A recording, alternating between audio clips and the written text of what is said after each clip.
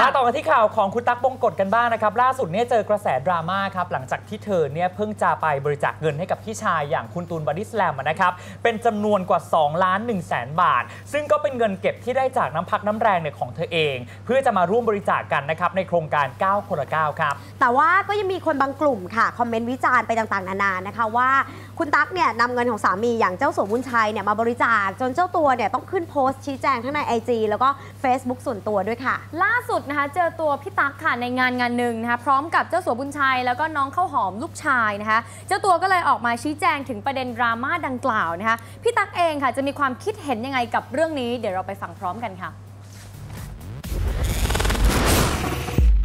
ก็อธิบายไปในในในในเฟซบุ๊กแล้วว่าค่ะว่าเป็นเงินเงินเงินของแม่ เงินของแม่แล้วก็ ก่อนเราแต่งงานเราก็มีงานทำเนาะเรามีงานทำเราก็ทำเรื่องจันดาราก่อนแต่งงานเราก็ทำเรื่องนางฟ้าแล้วก็อยู่ในวงการภาพยนตร์มาก่อนแล้วก็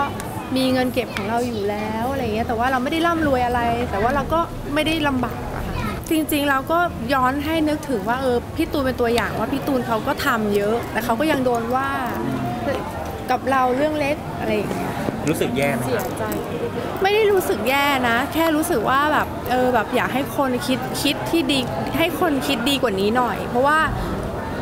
ถ้าคิดดีมันก็จะดีอะไรอย่างเงี้ยค่ะ คือเราไม่อ่านคอมเมนต์อยู่แล้ว เพราะว่าเรารู้สึกว่าเออพี่ตูนพูดถูกว่าผมไม่อ่านคอมเมนต์แต่ก็เลยเออจริง เราไม่อ่านคอมเมนต์แต่พอพอเพื่อนก๊อปมาให้มาให้เราเราอ่านปุ๊บเราพอเราเห็นแล้วก็ อ้าวเราก็ต้องชี้แจงแฟนคลับ เพราะแฟนคลับตั๊กเนี่ยไม่ได้จัด meeting หรืออะไร ส่วนใหญ่ก็จะเป็นแฟนคลับแบบที่เก่าๆที่เราที่เราเคยเป็นเราเคยเล่นภาพยนตร์เนาะก็จะมีแฟนคลับที่แบบติดตามไอจีเราติดตามเรื่องราวชีวิตเราอะไรอย่างเงี้ยค่ะ เราก็ต้องชี้แจงให้เขาฟังคุณบุญชัยว่าไงบ้างไหมคะเขาก็บอกว่าคือตักพูดมาเนี่ยแต่ไม่ได้โกหกคือเขาก็เขาก็ไม่ได้เขาไม่ได้ออกความคิดเห็นอะไรอะค่ะเพราะว่า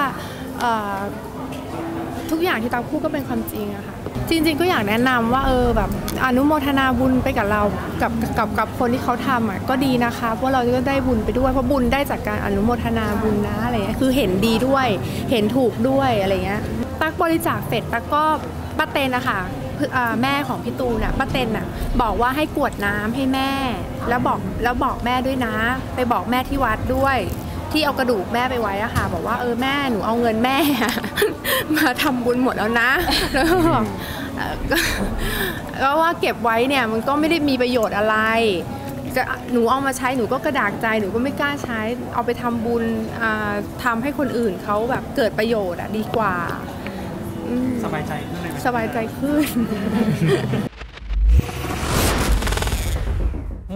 ก็ออกมานะครับชี้แจงก็จริงๆจริงๆแล้วด้วยจำนวนเงิน 2 ล้านกว่าบาทนะครัคะบเขาก็ออกมาชี้แจงถูกว่าเงินแม่เขาอืม แต่เราก็แบบเราก็งงนะที่อ่านข่าวว่าเจอดราม่าแบบนี้มันมันคนไปคิดได้ยังไงแบบนี้เรางงเหมือนกันเราอะรู้สึกว่าเนี่ยเขาทำความดีใช่มากเลยนะต่อทำไมให้ถึงเขามีดราม่าเออล่ะไม่แล้วพูดถึงต่อให้เขาเอาเงินสามีมา ค่ะก็ไม่เห็นจะเป็นอะไรเลถูย กก็ต้เขาองเป็นสามีภรรยากันอะ แล้วอีกอย่างหนึ่งคือ จริงๆอันนี้เข้าใจจริง ป่ะ แล้วอีกอย่างหนึ่งคือเขามีความสุขและสบายใจที่ได้นำเงินตรงนั้น ไปร่วมกันบริจาคไปร่วมกันทำบุญ นั่นคือสิทธิ์ของเขาเพราะรู้สึกว่านั่นก็เงินเขาเออ แค่นั้นเองเราก็เลยรู้สึกว่า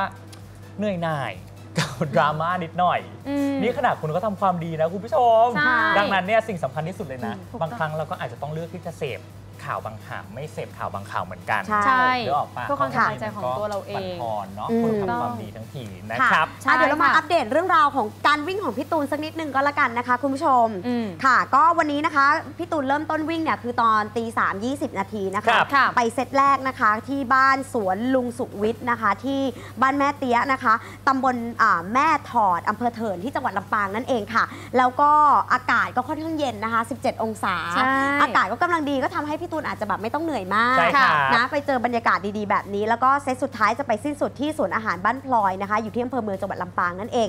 ตอนนี้ยอดบริจาคค่ะ คุณผู้ชมอยู่ที่ 895 ล้านบาทแล้วนะคะอืมนะครับก็ทุกคนก็ยังร่วมบริจาคกันได้นะครับ ทุกช่องทางเลยนะครับ แต่วิธีที่ง่ายที่สุดเนี่ยค่ะก็บริจาคทาง SMS ก็ได้ครั้งละ 10 บาทนะครับค่ะโดยพิมพ์ทีตัวใหญ่นะครับแล้วก็ส่งมาที่ 4545099 นั่นเองครับใช่แล้วค่ะ แล้วก็รวมไปถึงนะคะในเพจ9ค่ะมีการประมูลรองเท้าพี่ตูนนะคะในโครงการ 9 คนละ 9 เพื่อ 11 โรงพยาบาลทั่วประเทศ ตอนนี้เนี่ยมีทั้งหมด 8 รุ่นด้วยกันครัค่ะบก็คือมีรุ่นพี่อุ่นสู้ๆก็คือเป็นภาพความประทับใจระหว่างวิ่งก้าวผ่านไปจังหวัดนนทบุรีก็คือมีเป็นสำเนียงของน้องที่เราค่ะเขียนป้ายแล้วเขียนว่าพี่อุ่นซุนอ่าพี่อุ่นก็เลยเกิดเป็นความประทับใจขึ้นมาจนกลายเป็นรองเท้ารุ่นนี้ค่ะมีรุ่นบัวตูนบัวเอ่อบัวตูนบัวบานด้วยนะครับ ก็เป็นรองเท้าที่ใส่ในวันพบกันครั้งประวัติศาสตร์ของพี่ตูนบาริสแลมแล้วก็คุณบัวขาวบัญชาเมฆนั่นเองครับ แล้วก็ใช่มีแล้ว รุ่น 16 ล้านนะคะ ก็เป็นรองเท้าในตำนานที่พาเงินบริจาคเข้าโครงการได้ถึง 16 ล้านบาทนั่นเองค่ะ ที่อ่ามีคุณจิมมี่ชวลาใช่แล้ว มาบริจาคให้นะคะ ใช่ค่ะ แล้วก็มีรุ่นทีสี่ 4 นะคะ รุ่นล้มลุกนั่นเองค่ะ ก็คือเป็นรุ่นที่ใส่วันที่พี่ตูนเนี่ยวิ่งจนบาดเจ็บ แล้วก็ค่ะวิ่งต่อไม่ไหวก็เลยต้องขอหยุดกลางคันนะคะก็คือก่อนเข้าตัวเมืองหัวหินนั่นเอง ก่อนที่จะใช้เวลาพักฟื้น 2 วัน ก็คือก็จะมีสอดแทรกตรงที่จ้ะว่ารองเท้ารุ่นนี้เนี่ย เหมือนเมื่อล้มได้ก็ต้องลุกขึ้นมาใหม่ได้ถูกต้องแบบนี้ นะครับ รุ่นครึ่งทางครับ อีกรุ่นหนึ่งนะครับ อันนี้เนี่ยก็เป็นรองเท้าที่พาพี่ตูนก้าวเข้าสู่ครึ่งทางเบตงแม่สายนั่นเองค่ะใช่ค่ะ ใช่ค่ะ แล้วก็อีกรุ่นหนึ่งนะคะ ชื่อว่ารุ่นลอยฟ้านะคะ คู่นี้เนี่ยก็จะเป็นคู่ที่พี่ตูนใช้วิ่งที่ทางยกระดับลอยฟ้าอืมหรือเป็นการวิ่งแปลกใหม่ค่ะ คนที่อยู่ข้างทางที่อยู่บนตึกสูง ค่ะ ก็จะมาโบกมือแล้วก็ตะโกนเรียกพี่ตูนพี่ตูนอะไรเงี้ยก็ถือว่าเป็นอีกหนึ่งภาพประทับใจนั่นเองค่ะ แล้วก็รุ่นที่ 7 นะคะ รุ่นกลางกรุงนั่นเองนะคะ เป็นรองเท้าที่พี่ตูนเนี่ยใช้วิ่งมอบความสุขนะคะช่วงกรุงเทพนนทบุรีนั่นเองค่ะ ก่อนที่จะพุ่งเป้าหมายไปยังภาคเหนือของไทยค่ะ แล้วก็รุ่นสุดท้ายนะครับ ทางกลับบ้านนั่นเองครับ รุ่นนี้แน่นอนกลับบ้านพี่ตูนที่จังหวัดสุพรรณก็เป็นคู่ที่พี่ตูนใส่วิ่งเข้าจังหวัดสุพรรณนั่นเองครับใช่แล้วค่ะ ก็ยังมีระยะเวลาการประมูลนะคะถึงวันที่ 25 ธันวาก็คือจะปิดประมูลเวลา4ทุ่มนะคะแล้วก็จะประกาศรายชื่อผู้ชนะการประมูล ในวันที่ 26 ธันวาคม อยากได้รุ่นไหนก็ไปประมูลกันได้ใช่ครับนะคะ